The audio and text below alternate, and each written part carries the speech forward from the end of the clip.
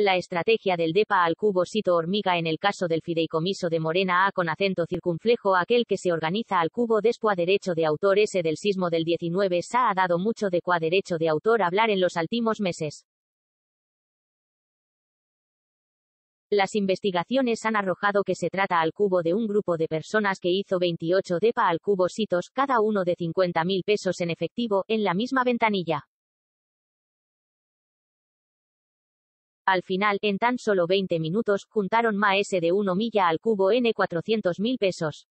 Aunque se habían mantenido en la Inca al cubo NITA, gracias a una investigación al cubo N de mexicanos contra la corrupción al cubo N y la impunidad MCCI, ahora sabemos que a derecho de autor NES participaron en estos DEPA al cubo Citos Hormiga y nos llevamos un sorpresa al cubo N.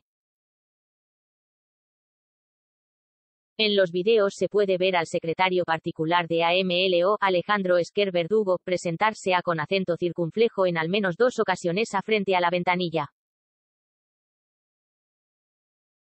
De camisa y lentes, con el característico bigote canoso, lo cachan sacando un fajo de billetes y lo entrega en la caja.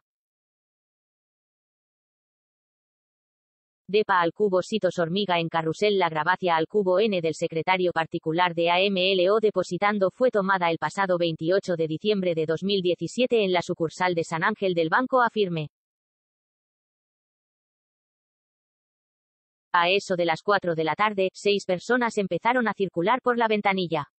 La coordinacia al cubo N les queda al cubo tan va R para que, en la movida de tan solo 20 minutos, lograron depositar un milla al cubo N 400 mil pesos en efectivo al fideicomiso. Adema S. de Alejandro Esquer Verdugo, actual secretario particular de AMLOA con acento circunflejo que en esas fechas era secretario de Finanzas de Morena, Tambia Derecho de Autor N aparece en los mismos videos Denista Arula Basto do Varganes, actual encargada de las finanzas en la oficina de la Presidencia de la República. La investigacia al cubo N del INE La investigacia al cubo N sobre el fideicomiso que realiza al cubo la unidad de fiscalización al cubo N del INE termina al cubo en una multa de 197 millones de pesos a Morena. Sin embargo, fue retirada por el Tribunal Electoral por considerar que no había sido exhaustiva. Los documentos a con acento circunflejo presentados mexicanos contra la corrupción al cubo N y la impunidad esta semana aseguran que cerca de 64 millones de pesos fueron utilizados en campaña más menos as políticas. Puedes leer la información al cubo N y el reportaje completo por acá. Asterisco con información al cubo N de mexicanos contra la corrupción al cubo N y la impunidad.